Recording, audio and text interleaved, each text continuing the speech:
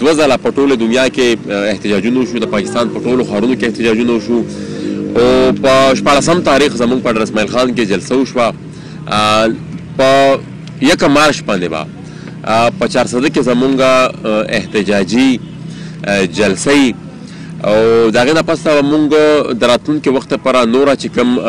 مستقبل چې کوم پلان د هغې نه پس به موږ اعلان کوو. خو فی الحال د یکم تاریخ پر مونږ د خپل پروګرام اعلان کړی وو نو دغه په تسلسل کې به مونږ په یکم مارچ د چارسدې د مل پیپر مل سره خوا کې چې کم ګراوند دی په هغه کې د ماسپخین په یو بجا احتجاجي غونډه کیږي مونږ د چارسدې ټولو ولسته او د خواو شا کې د ټول ټولې ضلع چې کوم دلته که د ممن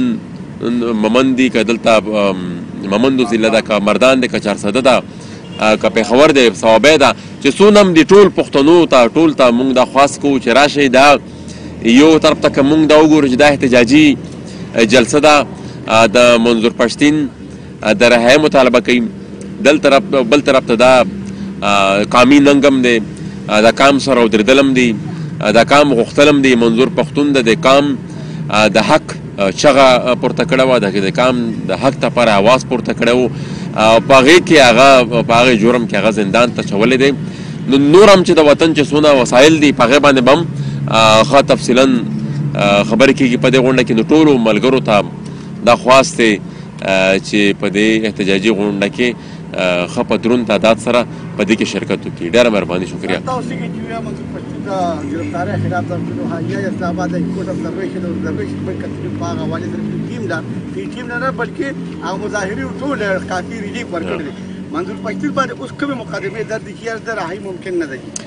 دلته جی په ده باندی چی په شروع کی کومه مقدمه درج شوی وی په کومه مقدمه کی جدی نیول شوی او هغه مقدمه کی دده ضمانت شوی دی ورپسې بیا درې نور مقدمه راوړې هغه کې بیا د ضمانت شوی دی بیا دوه نور په ټانک کې راوړې په هغه کې د ضمانت شوی دی خو بیا اوس دی داسې کوي چې هغه ګمنام اف آی آر چې کومي په کم کې چې مطلب لس کسان احتجاج کوي او 200 پکې نامعلومي دغه شان د مقدمه ورپسې اوس راوړي نو مقدمې څه داسې خاص پاتې نه دي مطلب کم کې چې دی نیول شو په هغې کې ضمانت شوی دی اوس هغه نورو درو مقدمو کې چې کم کې دي چې رچ کړی دی په هغې کې د ضمانت درخواست جمع شوی دی د منګل په ورځو په هغې کې ما پیشي خو مطلب دا پاسبیلیټي هم شته چې بیا ورپسې داسې یو نور څو کیسونه هم راوړي دغه لپاره مونږ تیاری کوو چې په های کورټ کې یو کواشمنټ پټیشن هم وکړو چې دا ټول مقدمه دي د د یو صوبې په ټولو خارونو کې دا ټول راوړي کو په شرکت د یو ریټ په شکل کې هغه په های کورټ کې مونږ چیلنج کو نور خو پغه کې س کانټینټ دغه شته نه لکه س کیس خو هغه کې نه الډی د اسلام آباد های کورټ دا ججمنټ چې کوم اوس راغی په اسلام آباد پروټیسټ کې چې کوم مرګري نیول شو هغه نه پس چې کوم ججمنټ راغی هغه نه پس خو پکې سپات نشو هغه نه مخکم چې دا زمون کې سونه لاړ شي په لوور کورټ کې زمونږ ملګرو ضمانت وشي ځکه چې کم کم داوا ولګي دي ته خو بس یو ټلیفون راشي مطلب پولیس چارواکو ته هغوی بیا دفعو وګوري هغې مطابق بیا پرچه کټ کړي خو بیا هغې پرچې په سپورټ کې دي سره بیا څه یي نه نو زموږ ټول ملګرو بیا سمدستي ضمانتونه مو شي نو دا په منظور هم چې کوم بنیادي الزام لګېدل په هغه کې د ده ضمانت شوی دی خو بهرحال د بندو جلسې نه پس هغه چې کوم د یووالي د قومي جرګې او د قومي اتفاق کم غږ پورته کړو او کم چغه کم سوال کم منت کم اعلان هغه کړو نو هغې نه پس دی اوس دغه شان د حربې شروع کړي دي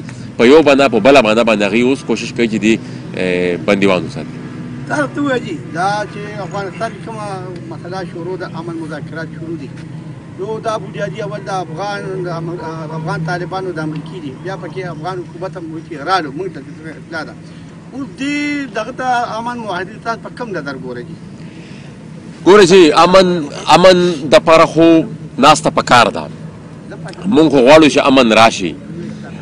چې په کومه طریقه هم راځي چې امن راشي خو په دې کې د افغان ولس د رای احترام ډېر زیات ضروري دی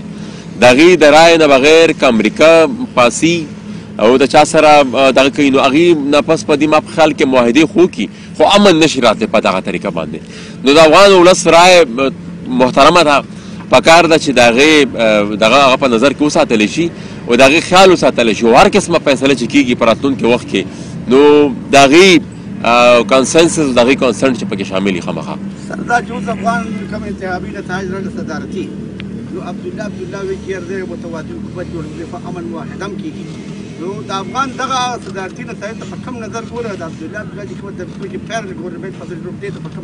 ګوره جی پکار دا چې جمهوری نظر خو هم دغه دی چې مطلب کومه فیصله وشي څوک الیکشن وګټي نو باید هغه تسلیم شي اشرف غنی هلته الیکشن کړی دی مونږ خو هغه دغه کړی دی هغه مبارکي هم ورکړې ده او مونږ خو د افغانستان د ریاست چې کوم دغه د الیکشن کمیشن هغې اعلان کړی دی مونږ خو به هغه بلکل منو تسلیم کړی هم دی او هغې له بیا مبارکي هم ورکړې ده اوس باید پکار ده چې که اوس دلته عبدالله عبدالله دی یا نور هلته کوم سټیک هولډرز دي هغه د ټولې خبرې په نظر کې وساتي چې دا ریاست کچري نو دی پکې بیا خپل سیاست هم کولی شي خو کچر ریاست کولیپس شي نو بیا به تب د افغانستان د ترشو وختونو حال ما خیال کې دی ټول په خپل لوسترګو کتلې دي نو باید مطلب خپل اختیار نور خلکو له پلاس کې ور نه کی د خپل خاور اختیار نور خلکو له پلاس کې ور نه کی د دې خاور مستقبل هم د دې د دې پلاس کې دی باید چې د د د ملک د جوړښت لپاره د ملک د ترقې لپاره د د استحکام لپاره چې سونم قوتونه دي سونم سټیک هولډرز یلتا هغه ټول خپل کردار ادا کړي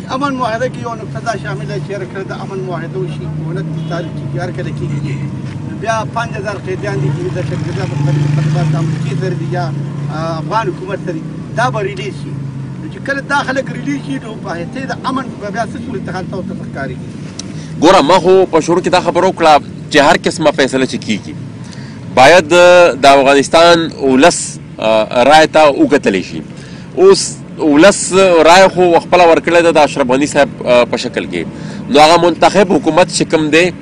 هغه چې بیا په هر قسم ټرمز اند کنډیشنز هغه د ولس نماینده دی نو چې هغه سره بیا په هر قسم ټرمز اند کنډیشن باندې بیا معاهده کوي مونږ باغا سپورټ کوو مونږ هغه بیا ملګرتیا هم کوو او مخصوص زبدار تو یرا ریاست مخکې څه داوا کړو چې یرا پاکستان د چرګي حکومت ته ختم خو مونږ دا بیا ویلو چې یرا د کوټه کې واقع تر مختلف علاقو کې دا واقعیت کیږي لوی ریاست تر دې کې دعوت د تشریح خاتمه شي و هغه درو یا هغه تاسو په کوم نظر ګورئ مونږ خدا غړو جی چې مطلب اباز نیم ټیم کې یو شی ټمپرری کنټین کی سړی خو نور مونږ دا غړو چې کم دا اوس مکنی حالات مونږ ګورو نو نه تر هغه ختم شوه دا ما څو ځله په قومي اسمبلۍ کې دا سوال جمع کړم دی چې مالا دا غ لیست دی راکی خصوصا د ضرب عذاب په کانټیکست کې چې مالا دا غ لیست راکی چې په کم کې څونه ترهګر دي نیولي دي په ضرب عذاب کې او څونه په دې کې په دې جنگ کې دي وجلې دي خو اوس پر هغه لیست مالا را نکو نه هغه سوال مالا اوس پر جواب را کړی دی نو حقیقت دا دی چې تر اوسه پوره مونږ داسې عملیات نه دي لیدلي چې هغې نه مونږ ته دا ښکاره شوي چې او اوس ترهګري ختمه شوې ده اوس هم که تاسو د وزیرستان نه راوالئ تر باجوړ سواته پورې او بیا ایون بنیر دا د ټولو علاقو کې مطلب ترهګر بیا راوتی دي سمودا غي غلې شوي بالکل خو هغوی اوس بیا راوتي دي او هغه ماسخوتن ښه برابر هغه پټرولینګ کوي، ښه ښکلا او هغه ګرځي ګرځي چې دی نه بتې غواړي، ښه په زور د خلکو نه پیسې غواړي او موږ خو په دې خبره د اکاونټیبلټي کړې ده دا موږ چې د ټروت اینډ ریکنسیلیشن کمیشن خبره کوو پی ټی ایم نو دې لپاره کوو چې تحقیقات ته وشي انویسټیګیشن دی وشي چې دا د جنگ په نوم باندې کومه ډرامه په دې خاوره کې وشوه په دې کې حقیقت کې شوي څه دي آیا ترهګري وه چې د هغې په ضد دلته دا دغه راغلل یا که ترهګري وه د هغې په ضد باندې دلته چې زموږ د استخباراتي ادارې دي یا فوج دي هغې کم کم عملیات کړي دي په کار چې دا ټوله خبرې به په ډاګ راشي دلته د ترهګرۍ په ضد څه داسې عملیات څه ګټې شوي دي نه دي شوي د دې ټولو خلکو د دې ټولو کیسو په کار ده چې تحقیقات وشي اوس موږ دا ګڼو چې دونه زیاته تباهي وشوه دونه غټ غټ اپریشنونه وشو د دنیا نه دونه غټ غټ امداد راغی او اوس هم چې موږ ګورو ترهګر سره د وسلو ګرځي زه مطلب به تور یو منتخب نماینده زه ځان سره که سرکاري ګاډي خوي کني ما سره زه ذاتي وسله ځان سره نشم ګرځولې دغه شانته هغه نور ټول وګړي چې هغه ښه پر امن ژوند په دې خاوره باندې تیر کړی دی هغه نشي ګرځولې خو یو ترهګر چې پخوا هم ترهګر د نورو سره پاتې شوی دی هغه ته بیا د وسلو هم اجازه هغه به په تورو شوګاړو کې هم ګرځي نو دا دغه چې کوم دی دا ډول سټانډرډ چې کوم دی د ریاست مونږ دا غشه چیلنج کړی دی مونږ وایو چې باید چې د دې مونږ اکاونټیبلټي وکړو د دې قوم ته دی لک تفصیل ورکی ځکه چې دا غوښتنه چې موږ نه کوو دغه ډراوی به دی ټول مر جاری ساتي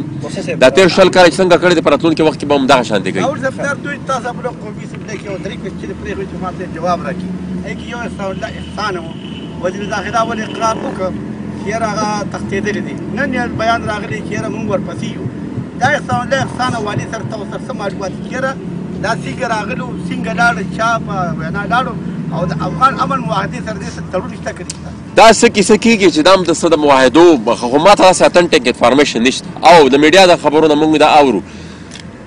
مونږ دا ګړو مال ته درې سوالونه په په یو په یو ریزن تپوس کړی دي ځکه چې دلته قانون نه د فالو شوی ما تپوس دا کړو چې د مو نیولې په کم اف آی آر کې په کم کیس کې مو دی نیولې باید مونږ ته هغه ښکارا کړي دا مو د کوم عدالت ته شو کړو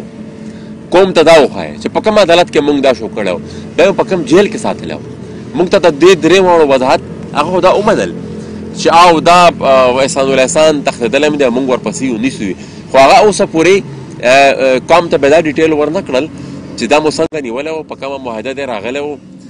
په کوم ټکي د په کوم عدالت دی ته تم دی مونږ ته دغه کړو مخامخ کړو او بیا دی مونږ په کوم جیل کې ساتلی و او زما د ټیکسونو په پیسو باندې دوه ته په حیدرآباد کې بنګله نیولې وه نو زه به هوته تپوس خامخا کوم خو ما هغه کې یو سوال په خره کې یو خبره دام کړه وا چې په دې کې نورا ډیټیل بحث په مونږ اله کوو چې کله د دې طرف نه افیشل جواب راشي اوس پورې خولې دي دا خبره ومنله چې او تختدل دي مونږ د دې غوښتنه کړې ده چې نیولې مو په کم کیس کې وو کم عدالت ته پښ کړو او په کم جیل کې مو یې خاو د دې دریو خبرو جواب چې راشي نور به غینه پس تفصیلا په دې باندې موږ بحث کوو دا پی ټی ایم د واحقینو چې کوم احتجاج شروع کړي پی ټی ایم د هغه سمون خاطر موږ دغه مرستم کو خبره بره موږ دغه موږ ملګرتیام کو هغه سره موږ پر رابطه کې یو او ما چې پارلیمنت کې دا خبرو کړه هغه په باندې ډېر خوشاله او ډېر شکریا مده کړې و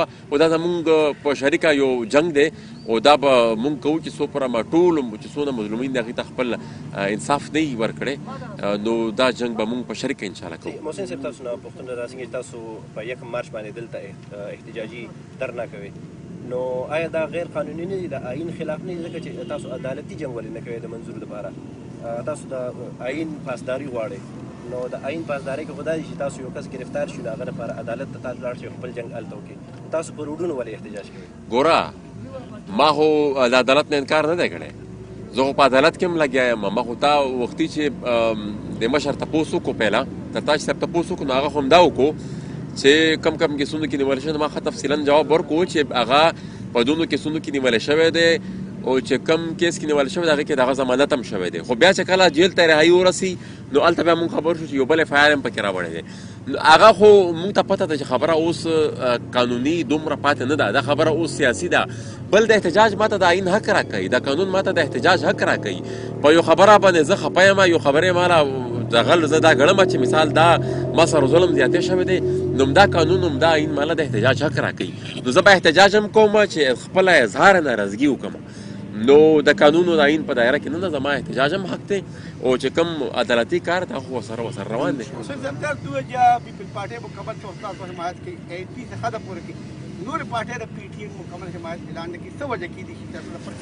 مونږ جی دورم ګوندونه دي پښتونخوا ملي عوامي پارټي هم همیشه د زمونږ ملګرتیا کړې ده مونږ دا ګڼو چې کم سیاسي ګوند تر کم وخت پورې یا تر څو نه حده پورې زمونږ ملګرتیا کوي مونږ یې شکریا ادا کوو که څوک مخالفت هم کوي موږ دغه جواب نه کوو ځکه چې مونږ مبارزه او مونږ بنیادی مقصد چې کوم دی د ډېر غټو قوتونو سره زمونږ دغه دی زمونږ دغه نه خپل حق غوښتنه ده دا سیاسي قوتونه چې کوم دي ته مونږ دین مونږ سوال دا کوو چې باید د د قوم د غوښتنې په د جنگ کې مونږ سره شریک کی د قوم لپاره چې کوم د کوم دایني او قانوني حقوق دي د دې د غوښتنې په جنګ کې باید دیم ټول خپل کردار غي ټول په خپل خپل فورم باندې کوي مونږ دغه غبرل زمونږ په دې مطالباتو کې چې څوک زمونږ سره سونه هدا پر ملګرتیا کوي مونږ دغه شکریا ادا کوو او که څوک مخالفت هم زمونږ کوي مونږ دغه جواب نه مخکې کړی دی نه یې اوس کوو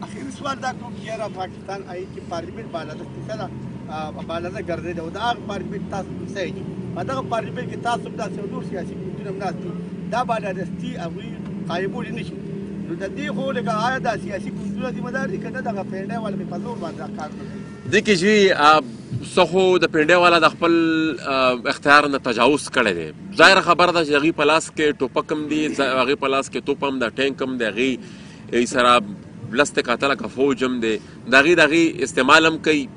او مطلب وسایل هم ټول په خپل لاس کې اخیستي دي دا هم یو حقیقت دی چې سیاسي ګوندونه چې کوم دی هغه خپل کردار اوس پر صحیح نه دی ادا کړی زه خو دا ګڼم چې که سیاسي ګوندونو په بل اوس په لاهور بار کې یو پروګرام هغه کې ما دا خبره وکړه که سیاسي ګوندونو خپل کردار صحیح ادا نکو نو زما په خیال اوس هغه وخت ختم شوی دی چې خلک په غلي پاتې شي نوي سیاسي قوتونه به راشي هغه به د دې ځای واخلي خو د اولس د اختیار چې کوم دی یا د پارلیمان پارلیمنت چې تاسو کوم یاد کړئ سپریم اداره ده د د اختیار چې کوم دی دا به هم د پارلیمنت ته ورکړی کیږي کدی نه کوي د دې مبارزې د لپاره یا د دې حق وختلو د لپاره چې کوم د دې اختیار دی دی پنډې ته اخیسته دی په زور ته اخیسته دی په را طریقه چې اخیسته دی دا اختیار چې بیرته د پارلیمنت لا د سیاسي ګوندونو وان نه لي نو زما په خیال ولس په مرګرتیا هم نه کوي او د دې په ځای نور سیاسي قوتونه راشي هغه به دا جنگ کوي خو اخر کې به دا دا دا دا, دا نظام په بل طریقه نشي چلیدلی دا نظام به په دې طریقه چلی چې د ولس اختیار به مو ولس لور کوي بربانی جی ثانک یو